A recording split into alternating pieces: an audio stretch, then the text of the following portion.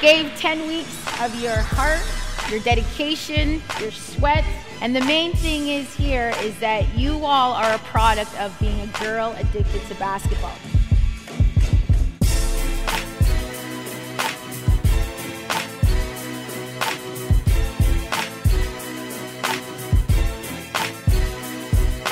I started playing basketball when I was 15 years old. I wasn't as lucky as you guys have a program like this of all girls. It was so small that I had to play on the boys team.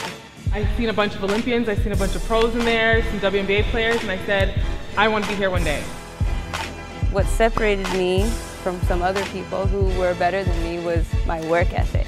I worked on my ball handling skills, on my foot speed, my shooting. If you have that, you have it over everybody.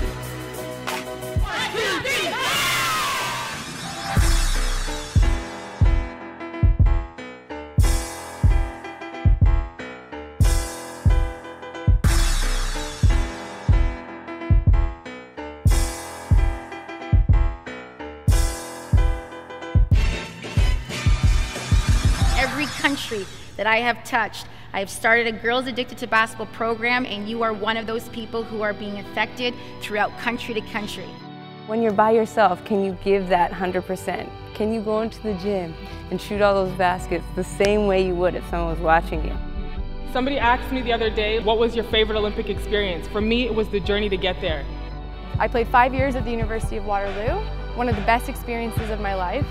If I didn't stand there and I didn't make that goal and I made that dream, I wouldn't be an Olympian today. I know that you guys will each have a journey similar because you have a great start here at GAB.